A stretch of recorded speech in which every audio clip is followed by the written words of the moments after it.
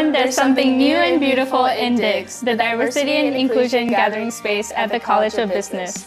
The Palette Project went out into the College of Business community to find out what the DIGS space meant to them. We took those insights, conceptualized a design, and outlined it for students, faculty, and staff to paint. As both a student and the founder of Palette, this mural is special to me because it belongs to our community and represents the beauty of it.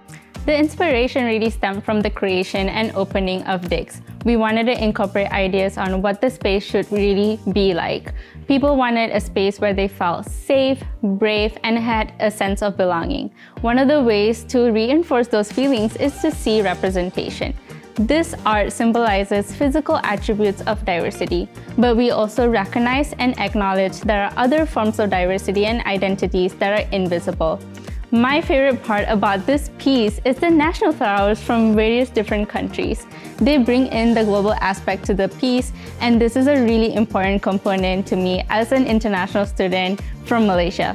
We cannot wait to hear what your favorite part is too. This mural created an experience in which people could connect and collaborate while painting. Now, when students, faculty, and staff walk by or visit DIGS, they'll remember what they contributed and the memories they made together.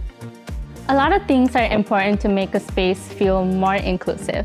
One of them is art. So I'm glad that Erika and the Palette Project gave me the opportunity to create this mural for DIGS.